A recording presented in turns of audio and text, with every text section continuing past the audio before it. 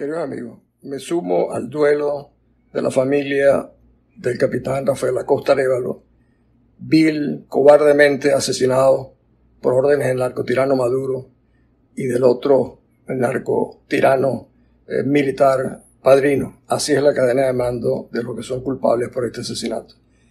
He visto a su viuda Valesca valientemente informar al mundo lo que le sucedió a su marido.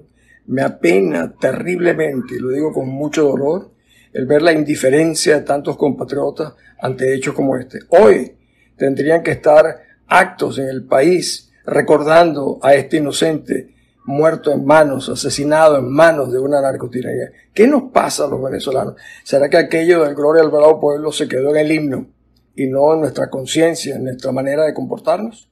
Me parece algo tristísimo.